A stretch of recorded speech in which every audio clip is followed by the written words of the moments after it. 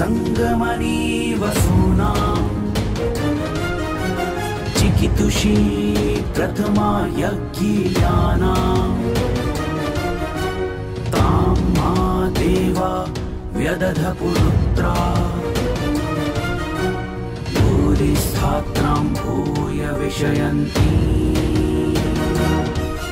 भारत विक्रम, भारत वर्ष की अक्षय कीर्ति गाथा।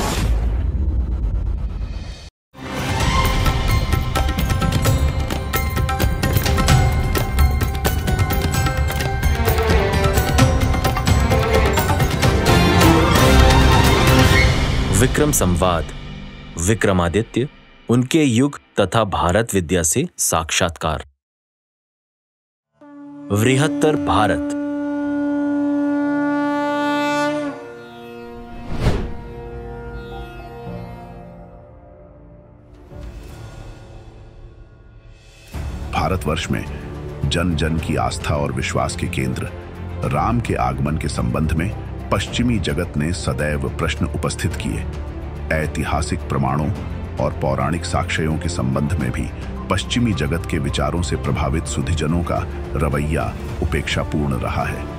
पाश्चात्य विचार से प्रेरित महानुभावों ने वेद पुराण महाभारत सहित भारतीय प्राच्य ग्रंथों को कल्पना आधारित प्रचारित किया ही साथ ही राम, रामकथा और रामायण के अस्तित्व को सबसे ज़्यादा प्रश्नांकित किया है। हालाँकि भारतवर्ष के शोधकर्ताओं ने अत्याधुनिक संसाधनों के उपयोग से राम के संबंध में प्रचारित की गई समस्त भ्रांतियों का समाधान किया है। इस महती कार्य में शोधकर्ता सरोज बाला की पुस्तक, राम कथा सितारों से सुनिए में साक्ष्यों का क्रमबद्ध समावेश किया गया है। पुस्तक में राम के जन्म के समय में आकाशीय गणना का विस्तृत और सूक्ष्म अध्ययन किया गया है। जन श्रुति में राम का जन्म विक्रम संवत के प्रारंभ से पाँच हज़ार सत्तावन पूर्व व अंग्रेज़ी कैलेंडर से पाँच हज़ार एक सौ चौदह ईसा पूर्व चैत्र मास शुक्ल पक्ष की नवमी तिथि को हुआ। प्राचीन भारत में नववर्ष का आरंभ चैत्र से होता था। वसंत ऋतु के समय जब राजा दशरथ ने पुत्र की कामना के लिए पुत्र कामेष्ठी यज्ञ किया, तब चैत्र मास का आरंभ था और शुक्ल पक्ष की प्रथमा थी।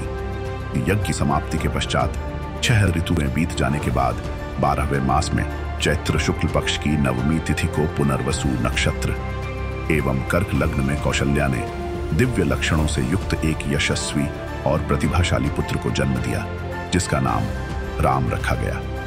महर्षि वाल्मीकि के अनुसार श्री राम के जन्म के समय चैत्र माह के शुक्ल पक्ष की नवमी को पाँच ग्रह विभिन्न राशियों में अपने उच्च स्थान में थे। चंद्रमा पुनर्वसु नक्षत्र में था। सूर्य अपने उच्च स्थान मेष में था, शुक्र अपने उच्च स्थान मीन में था, मंगल अपने उच्च स्थान मकर में था, शनि अपने उच्च स्थान तुला में था, बृहस्पति अपने उच्च स्थान कर्क में था, चंद्रमा और बृहस्पति एक साथ लग्न स्थान कर्क में चमक रहे थे। कर्क राशि पूर्व से उदय हो रही थी।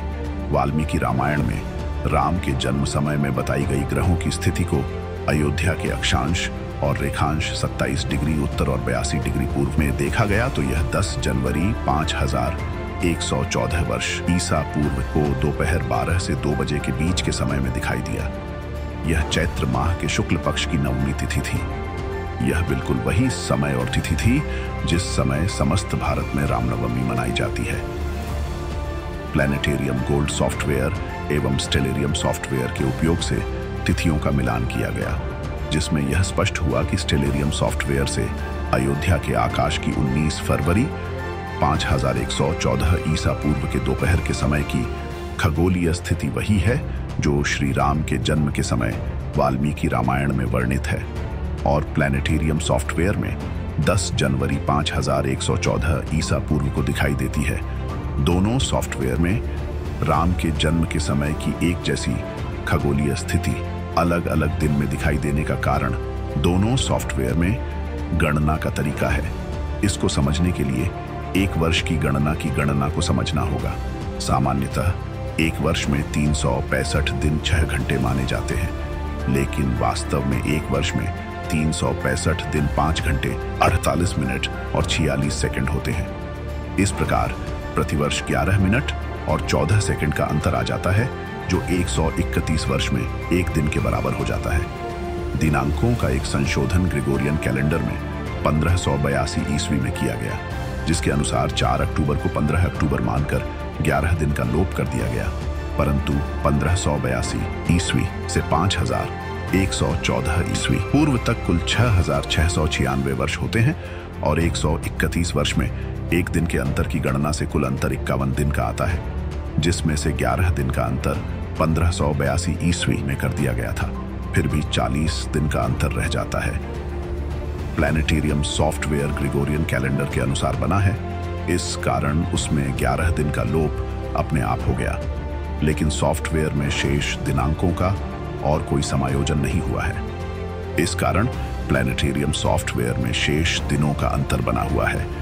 जबकि स्टेलेरियम सॉफ्टवेयर में इक्यावन दिनों का पूरा अंतर समायोजित कर लिया गया है। यही कारण है कि प्लानिटेरियम सॉफ्टवेयर और स्टेलेरियम सॉफ्टवेयर में 5114 ईसा पूर्व की तिथि गणना में 40 दिन का अंतर प्रदर्शित होता है। इसीलिए राम जन्म के समय प्लानिटेरियम सॉफ्टवेयर में 10 जनवरी 5114 ईसा पूर्व और स्टेलेरियम सॉफ्टवेयर में 19 फरवरी 5114 ईसा पूर्व प्रदर्शित होती है। शोधकर्ता सरोज बाला ने राम के साथ उनके भाइयों के जन्म समय का भी खगोलीय गणना से मिलान किया। वाल्मीकि रामायण में श्लोक है, पुष्य जातस्तु भरतो, मीन लगने प्रसन्न थी। सार पे जातो तु सो मित्री कुलिरे अभ्युति तेरवो श्लोक की व्याख्या में कैकई के पुत्र भरत का जन्म पुष्य नक्षत्र और मीन लग्न एवं सुमित्रा के पुत्र लक्ष्मण और शत्रुघ्न का जन्म अश्लेषा नक्षत्र और कर्क लग्न में होना बताया है। जब इन खगोलीय स्थितियों को प्लानिटेरियम सॉफ्टवेयर के माध्यम से आकाश में देखा गया तो प्रदर्शित किए गए आकाशीय दृश्य से यह ज्ञात हुआ कि भरत के जन्म का समय दिनांक 11 जनवरी 5114 ईसा पूर्व, बढ़ते हुए चंद्रमा के दसवें दिन, यानी चैत्र शुक्ल दशमी, को सुबह लगभग चार बजकर तीस मिनट का था स्टेलेरियम सॉफ्टवेयर भरत के जन्म के समय के इसी आकाशीय दृश्य को 20 फरवरी 5114 ईसा पूर्व सुबह छह बजे दर्शाता है। यह चैत्र शुक्ल दशमी का दिन था। मीन राशि पूर्व से उदय हो रही थी और चंद्रमा पुष्य नक्षत्र में विराजमान थे। इसी तरह लक्ष्मण और शत्रुघ्न के जन्म समय प्लानिटेरियम सॉफ्टवेयर की गणना में 11 जनवरी 5114 ईसा पूर्व को सुबह 11:30 मिनट दर्शाता है। उस समय पूर्व दिशा में कर्क राशि का उदय और चंद्रमा अश्लेषा नक्षत्र में था। वहीं स्टेलेरियम सॉफ्टवेयर, इन दोनों राजकुमारों के जन्म के समय के इन सभी खगोलीय विन्यासों को 20 फरवरी 5114 ईसा पूर्व को दिन के दो बजे दर्शाता है। वाल्मीकि रामायण और इन सॉफ्टवेयर से प्रदर्शित खगोलीय स्थितियों के आधार पर यह स्पष्ट हो जाता है कि राम का जन्म 10 जनवरी 5114 ईसा पूर्व और भरत, लक्ष्मण और शत्रुघ्न का जन्म 11 जनवरी 5114 ईसा पूर्व हुआ था।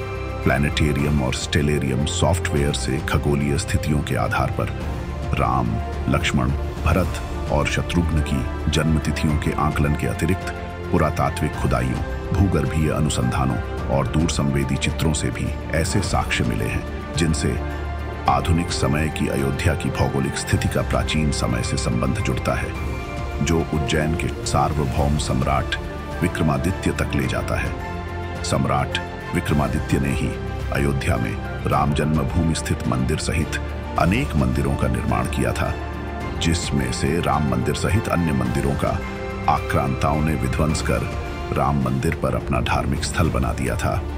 इसी का पता लगाने के लिए कोर्ट के निर्देश पर भारतीय पुरातत्व सर्वेक्षण ने 2002 से 2003 में उत्खनन किया था, जिसकी report team leader doctor B R Mani ने 22 सितंबर 2003 को सौंपी थी। रिपोर्ट में बताया गया है कि उत्खनन में इस बात के भी साक्ष्य मिले थे कि अयोध्या में सभ्य बस्तियों का अस्तित्व बहुत पहले से था।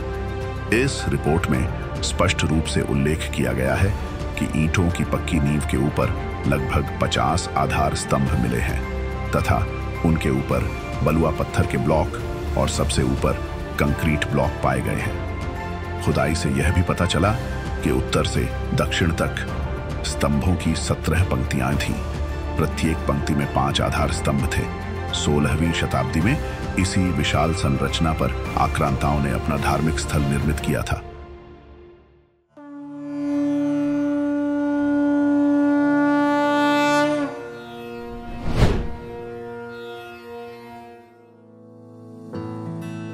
उभय भारतीय मिथिला निवासी शास्त्र ज्ञानी मंडन मिश्र की पत्नी है।